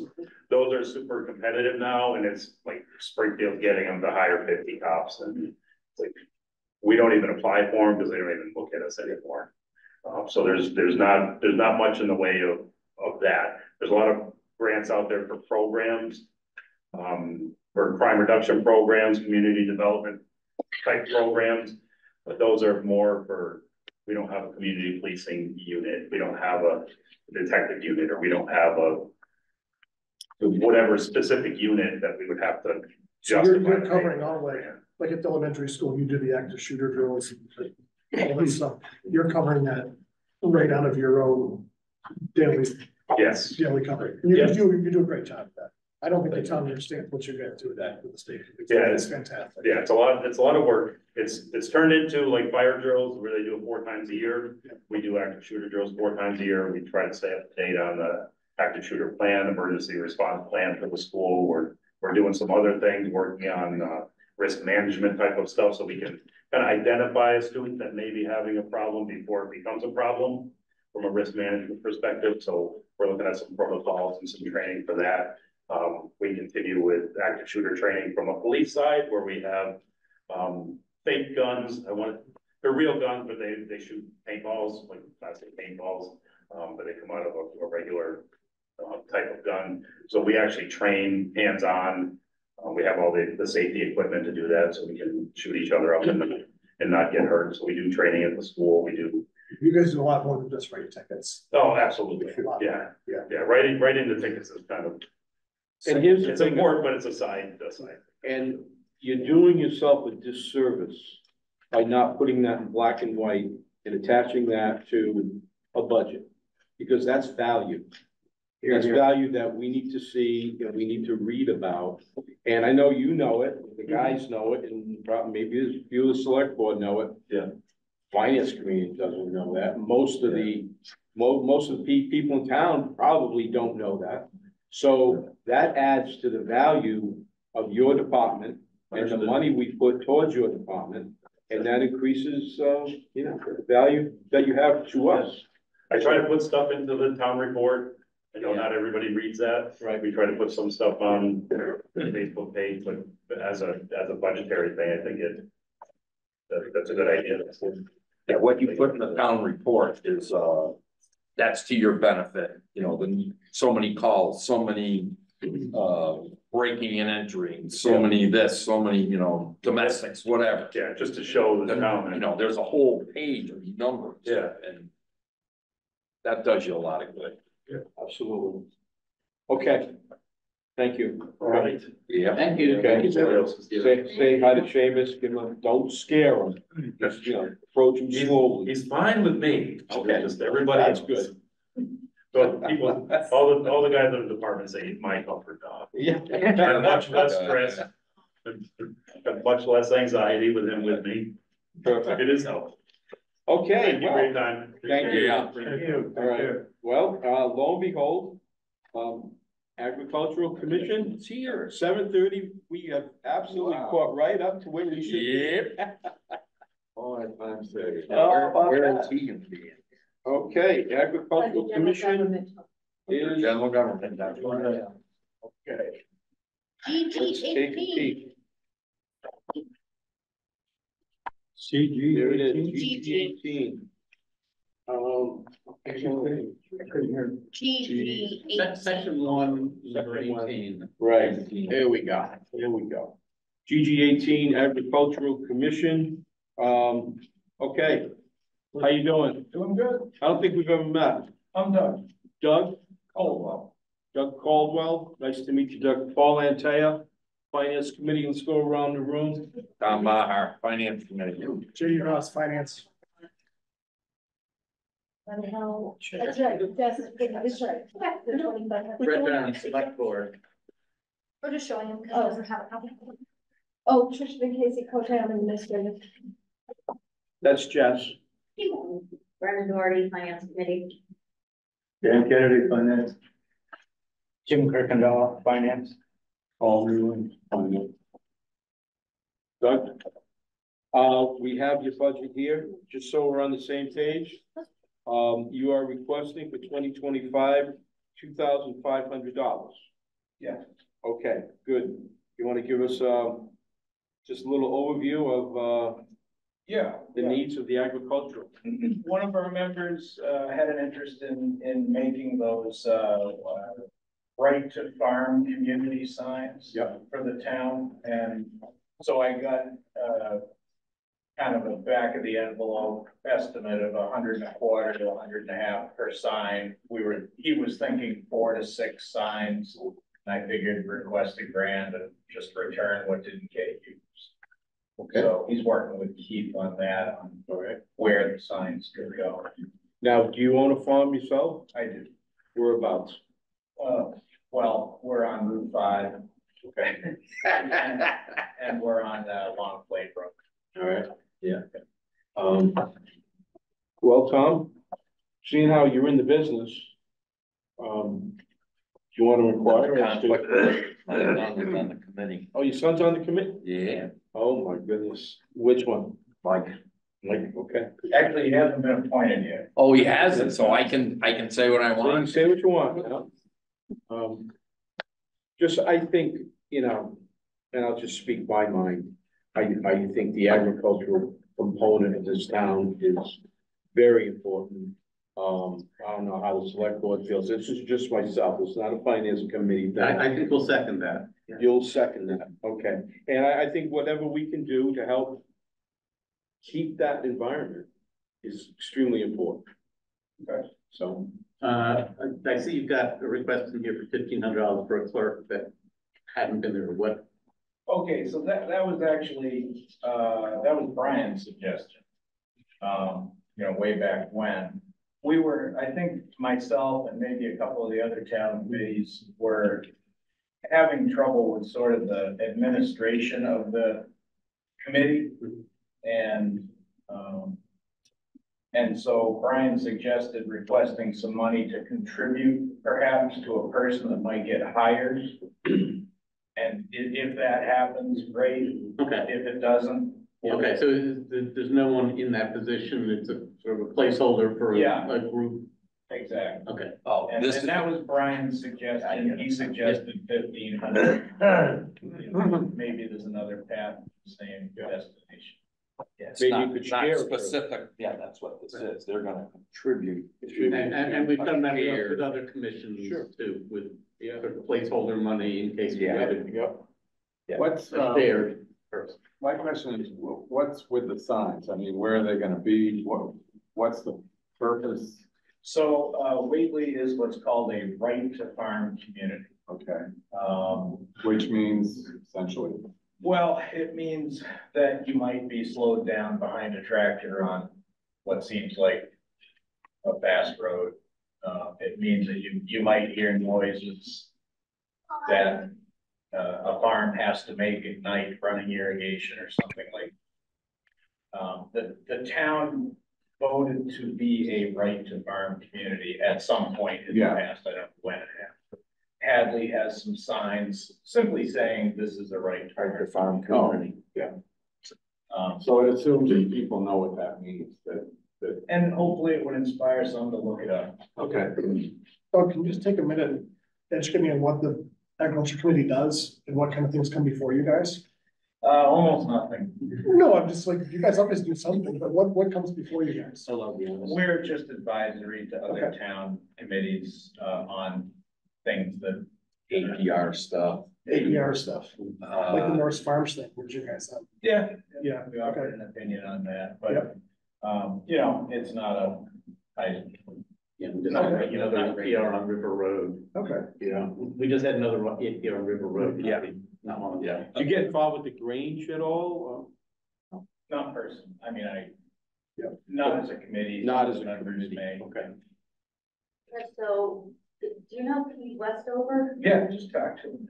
Because, so I'm married to him, um, and for many years, the Commonwealth paid him quite, a- um, for the Commonwealth, a good amount of money to work with ag coms across the state, and he was always traveling here and there, but because of some politics, as I understand it, at MDAR or wherever, uh. For, I, I don't know, we did for ten years or something, but anyway, it's been four or five years. I didn't even know we still had an AgCom here, and so when you say nothing, I, I appreciate the candor, and I kind of feel like that's gone, like these AgComs that were super active in Massachusetts were paying for a consultant to help, you know, have meetings and hearings and and stuff, organizational stuff, it seems like that has tapered off. Some, so anyway, I didn't know we still had one. So do you hope downstream to, you know, help farmers with, you know, crops or deciding what crops to plant and how to It's get not- crops to It's market? not like that. No. It's not like that. Okay, No, it's more, if, let's say I wanna put my farm in APR, yeah, one of the s- steps is to go, is to go to the ag commission and they can support it or Mhm. not support it. More land use issues. Uh, yeah, more land use issues, uh, It's more offering an opinion to another Yeah. committee about how a decision Yeah. might impact agriculture in the town. yeah, if, if I have a, a problem with the conservation commission. Yeah.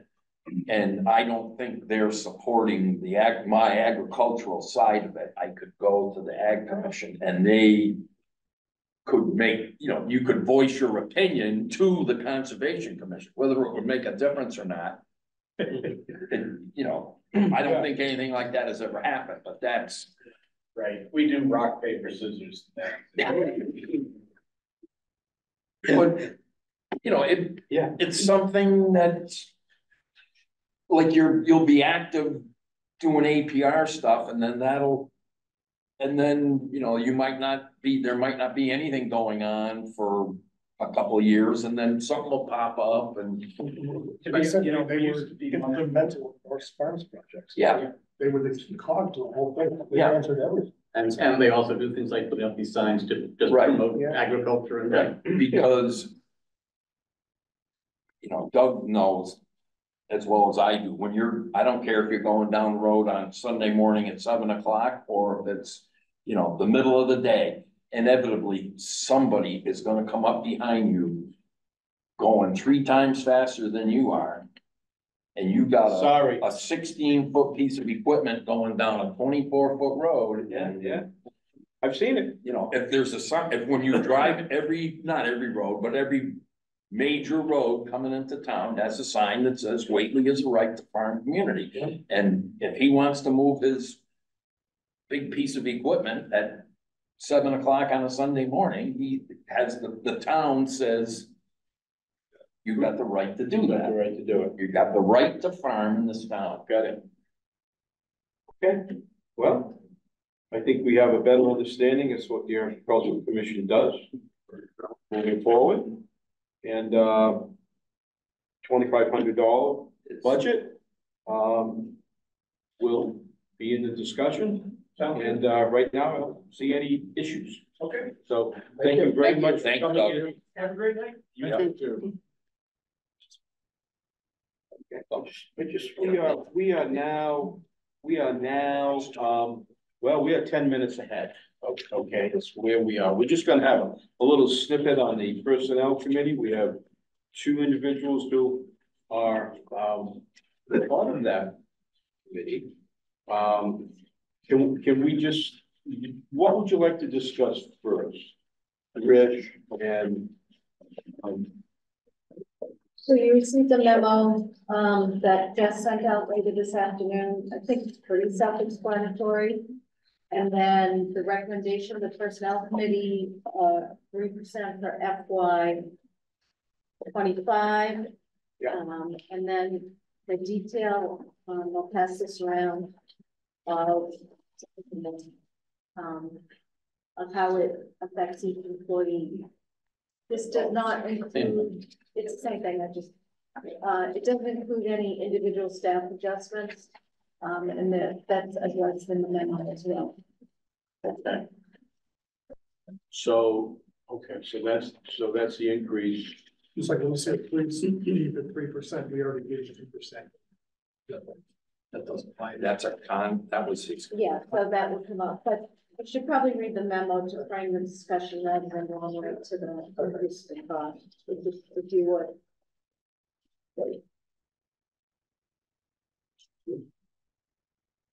This is the memo you're referring to. Yeah, that, that's. Right, yeah, yeah, read that.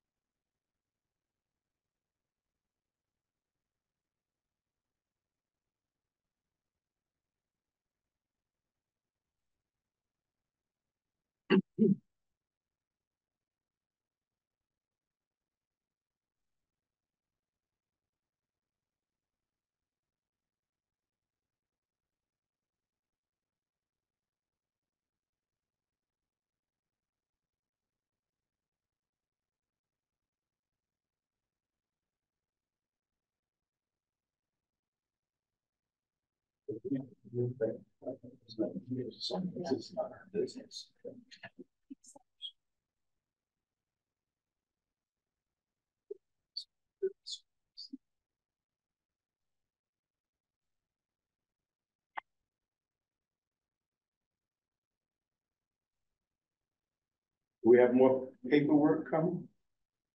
Oh, okay, I'm just organizing. okay. Um. All right, let's just, um, has everyone had a chance to read, um, the memo from Jess that, uh, came out earlier? Yeah. Okay. Um. Would anyone like to, um, surface any questions or make any comments, um, regarding what we have in front of us? Okay, then I'll start. Um, so essentially, the, the committee has come up with three percent as a COLA moving forward. In addition to increases by personnel. Okay. Um. Okay, I just want to, uh, I just want to reflect back a little bit to last year. Okay, in twenty twenty-three, um, the Personnel Committee asked for seven point two. If I recall that, um, and a, a great deal of that was based on what happens in regards to the CPI. And I, I, I think what we have to embrace is that CPI has very little to do with small towns like. Ninety-seven percent of the data that goes into CPI is from urban communities. It's just the way it is. Um, the last year, we were looking seven point two, but the actual, what it ends up being is five point five, so you're looking at about two percent above that. And now here we are in January twenty twenty-four, and the CPI is two point one. And the request is three. Um, so just bring that out. And if we turn the page and we look at sources from towns, I guess comparative towns. Um, I don't know how West Tisbury, a Martha's Vineyard, ends, ends up in there at four point eight percent. I'm just, that, that, that one seems to be, that one should be thrown out. Um, Yeah, Conway is not in. So, all good questions, so. The personnel committee hasn't seen the data that you have, they voted in the absence of that information. so what did they, what did they base their? They based it on the town salary survey that they do every year that the chief just referred to, along with reviewing the Franklin Regional Council of Governments survey. Um, that's what their three percent was based on. At that meeting, as my memo indicates, they asked for some additional information relative to health insurance increases, whether communities had wage and classification systems, whatever. I sent that request out on this, um, small town administrators listserv. That's ten thousand or under communities. That's why you have West Tisbury, whatever. Okay. Of the eight communities that you use, Conway, Hinsdale, and Hatfield did not respond to the survey, so we do not have that. Mhm. Of the five that did respond, the average COLA for those five communities is three percent. I did that math today. So, um, so I think, I think that addresses your questions. Yeah. I followed the CPI here just because traditionally that's what folks do. I get you. I and- get it. And that's what Brian's done. Um, I think, um, couple of issues. One is, as I speak to in the memo, um, it's really hard, as Chief mentioned, to recruit and attract people. It's really, really tough. Um, even in the short time I'm here, we're facing challenges retaining the staff that we do have, losing them to other people. Um, it's just a challenge of a small community and now smaller communities are starting to coach other communities because they just raised their salary. So, um, when the personnel committee meets tomorrow night, they're looking at six more additional positions to, under their policy, bring them just to medium Mhm. of all the Franklin County area regional towns. Yeah. And some of those towns, they've done two positions, they've done two or three years in a row. So, you know, we have Dougie retiring in the highway department, we have Keith retiring. Um, so we have some real challenges on that, on that, um, that front in terms of individually, it's almost like spot zoning. You know, addressing them in a piecemeal, and the full-time and part-time police officers are on that list that she just alluded to. Um, cause you're adjusting them annually because nobody can get these people. Um, and one of the challenges is, is because we just give our folks a COLA and we're not in a, a professionally established wage and classification system where a police officer can come to Whately and if we're competing against them with Sunderland or Hatfield or something else, they can say, all right, I'm gonna start at fifty-two, then in a year I'm gonna go to fifty-four, and then another year I'm gonna go to fifty-six because I'm fully seasoned and I'm gonna get the two percent or the three percent COLA. Yep. And that provides predictability, it provides hopefully retention, and we save time and money doing this for you folks every year, the, the committee doing the folks. It's predictable, the personnel committee is only looking at reclassification requests, which they won't have to look at for a long time. Once a brand new system goes in, you redline people that are overpaid, which you don't really have here. Yep. Um, and it, it, it's another recruiting tool and a retention tool for the town. The problem is, A, nobody wants to do them anymore, and B, um, they cost, for a town this size, probably eighteen to twenty thousand. But it's pay me now or pay me later. If you do it, then we wouldn't have to have this conversation every Yep. year. You'd still have the COLA discussion, Yeah, but not this adjustment of, you know, how many full-time employees do we have? And every year you come and Every doing year a staff, you're doing half the staff adjustments for them. Or if someone wants to leave, the select board's faced with, do we let them walk and all that investment and time in training? Or, and we go out the door and try to something new. We just had a heck of a time trying to replace Cynthia in the assessor's office, a heck of a time. And you know what? That rate was pretty darn attractive. But it's one of those positions that in a small town is incredibly difficult to replace. Yeah, And, and it ends up, we're not replacing Cynthia with the person replacing, we're contracting for the services, but not hiring them. So, you know, unfortunately, you know, with personnel, um, and the staff here, I have to say, in the short time I've been here in this building is absolutely terrific. Yeah, And some of them I were agree. here twenty-seven years ago when I was here, like Keith and Fran and Tom and you. Um, because people really care about the town. Yep. But this dance and this anxiety that the staff have Oh, yeah. every year around it, um, I think a wage and class would really maybe settle some of that down. But, um, I think it would make it easier, yeah, certainly for this group, yeah, you know, and the select board. and the sel- sel- select board. Um, I don't, but I- I'll, I'll tell you what, it- I'll tell you the monkey wrench in that though, is if we have a step system and all of a sudden Hatfield has a little better step system. That's not gonna stop migration of people, but what it will stop is negotiation at this point. Right. Because we'll say, we have a step system. You knew the step system when you took the job. You knew the salary. That's what we got. It's kind of like, it's kind of like a contra, uh, uh, you know, a verbal contract, kind of.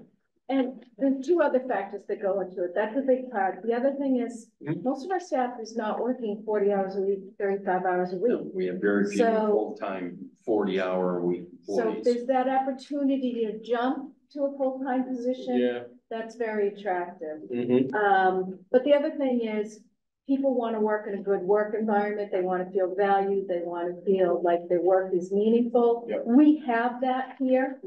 That's a big plus for us, is Yeah. that I think that there's a good working relationship, it's a nice building. Sure. I've been in nine cities You remember the old one? towns. This is the nicest town hall other than Springfield City Hall that I've ever worked in, that's saying a lot. Yep. Um, it's And you know why we have this? You know why we have this? Because of this committee right here. That's right. Yeah, And well- Brian. And Brian. I was in center school for three and a half, so thank you. Right. Yeah. But, There you go. um, um, but I mean, that's important too. People will leave for money, but they'll also leave if they're unhappy or they feel undervalued or there's poor morale. yeah. You know, or they're stressed about getting a raise when their health insurance Mhm. has just gone up eight percent. 8%. We- So their net is going to be negative five because the health insurance has gone up. And I do have all the relative health insurance data from the survey, but I didn't include it. Because mostly everybody here is in Hampshire County, um, so, and that's eight percent for everybody.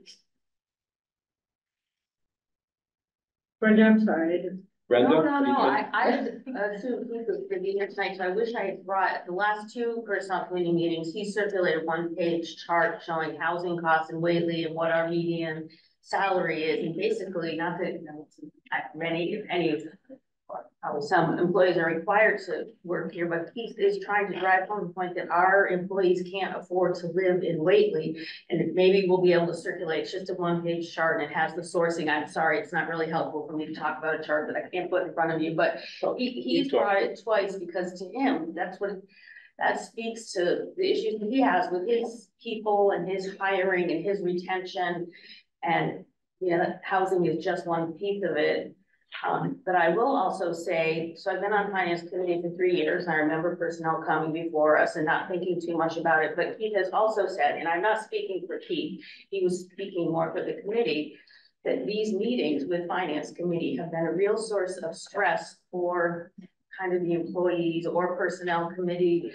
Um, and I guess I'm not very observant, or I didn't notice it as much in the first two years when I was still just figuring out what finance committee even does, that, um, yeah, that's a, a difficult thing, that it should understandable that it's a source of stress, but then when you see that our employees can't afford to live in Whately, or many of them can't, and there's a variety of reasons for that, not just property prices and what we pay, not full-time and other things, but, um, so I guess th- those things have had an impact on me since I joined the personnel committee for this year, and, um, I mean, I know no one wants our property taxes to go up, and I, I, understand all of that, and, and, you know, I work for a law firm, we lost people to Hartford and Boston, because we just can't pay in Springfield what they can pay in, so I understand that, but, um, that has been a little bit of eye, an eye opener for me to see it from the employee's perspective more than I was able to before, when I was just looking at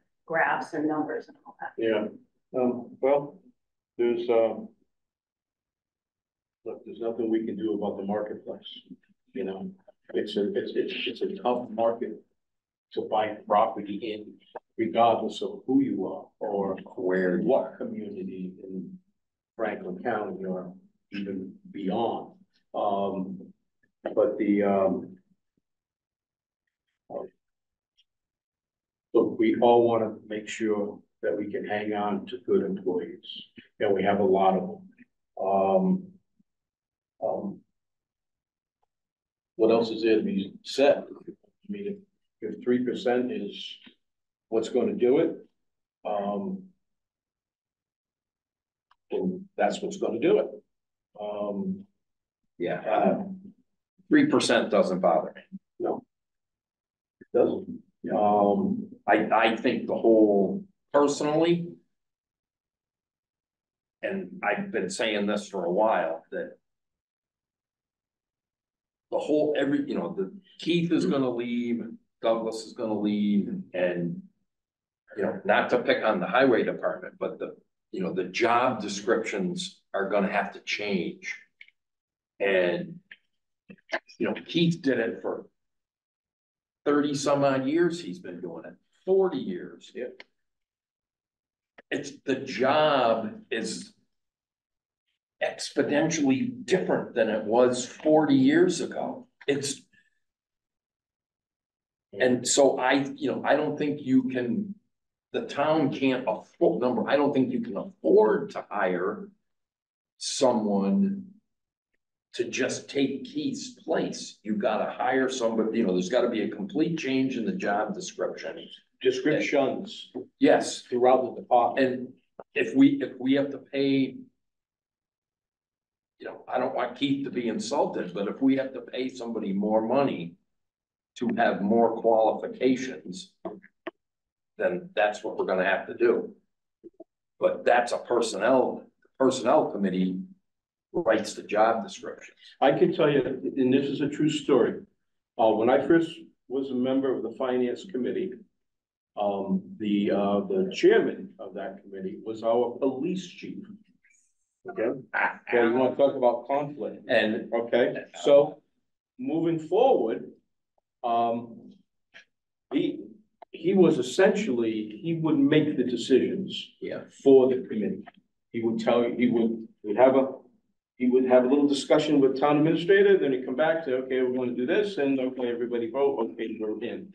And he made it very clear that town employees were never gonna make at or more than what a school teacher was gonna make in our town. Made it very clear. And then, when he left, probably before he left, we made a decision that we needed a personnel committee. Instead of having one person make this decision for everybody, we needed a personnel committee to come forth and what? Okay, now we transfer to, to where we are today. And we have a personnel committee and they're trying their best. But what happens? It comes back to the finance committee. And, and we shouldn't have to make this decision. We don't know what she does or, or what, what any employee really does in town. We don't see them on a daily basis. We run into them every now and then, something happens. So it's unfair to the employee to have individuals making decisions for their salary. That job belongs to the select board. Did we, did we ask last year for a written statement of what their job qualifications were? Yep. What their duties are? And we never got it from the select. So the select board's job, Keith reports to the select board, all the department heads report to the select board. And there is a bylaw that says every town employee is supposed to have a review every year by their department head or manager of of whomever. Yeah. That doesn't happen. Okay, so we have a lot of things that need to be wrapped up. And the unfortunate part, coming forward all these years, now all of a sudden we have a discussion here, and what's gonna happen? We moved from having one person twenty-five years ago making a decision for everybody in town, and now twenty-five years later. We all sit down, we all vote, I'm the chairman, or who's ever the chair, we'll vote this side, we'll vote that side, and I'm the tiebreaker. What's it come down to? One person Making a decision. making decision all over again. That is so unfair. And so it's, it's unfair to us, it's unfair to the employees.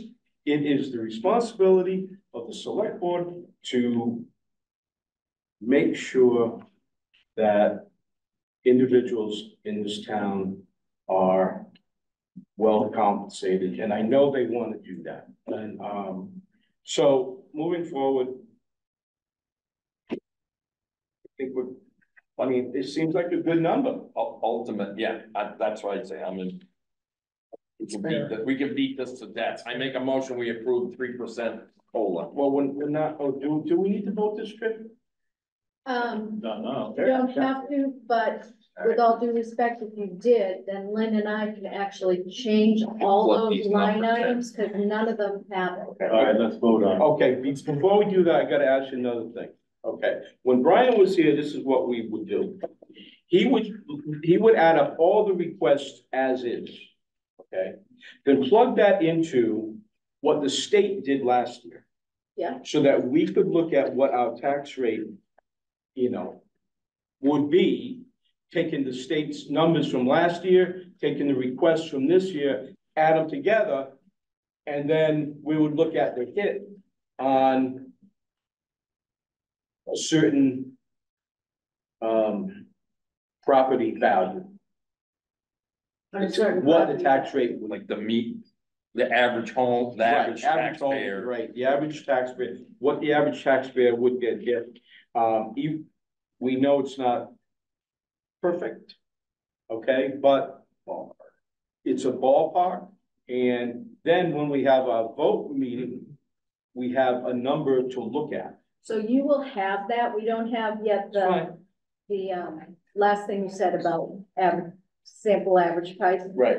Because everybody's been coming in with a budget number change, so.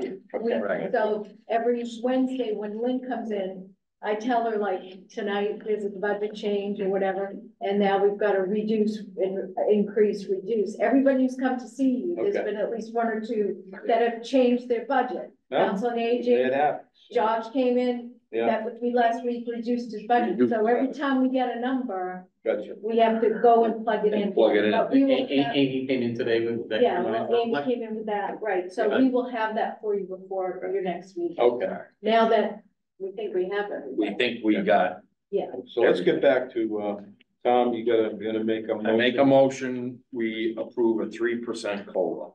All for town employees. second All those, second for Jim, I all those, all those in favor? Aye. Aye. Okay.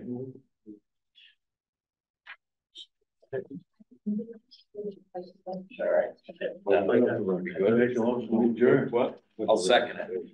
We're making a rec. We're making a recommendation. We're making a recommendation. We all don't- is make all, that's all we do. Yeah. Mr. Absolutely. Chairman, we did that last motion, Not what? We made a motion to adjourn. and it was seconded. What second? All those in favor? Aye. Aye. Hey, you know something? Eight oh five, not bad. Bad.